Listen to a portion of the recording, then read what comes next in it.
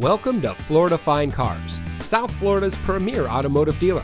And here's a look at another one of our vehicles from our massive selection and comes equipped with moonroof, steering wheel controls, premium audio system, bi-xenon HID headlamps, keyless entry, alloy wheels, air conditioning, traction control, fog lights, CD player, power windows, side airbags, and has less than 50,000 miles on the odometer.